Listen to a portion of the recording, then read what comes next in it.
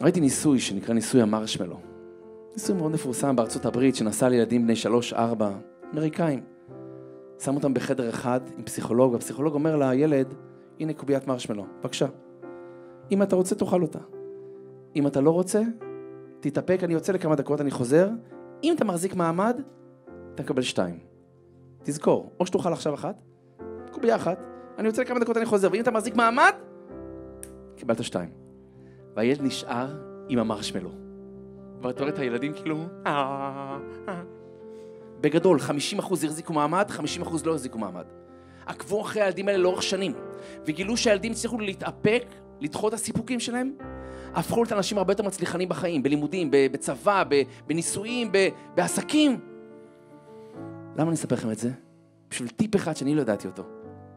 מה הילדים האלה עשו בזמן שהפסיכולוג לא היה בחדר? הם גילו ככה. הילדים שלי לא הצליחו להתאפק. הם כל הזמן הסתכלו על, על המרשמלו.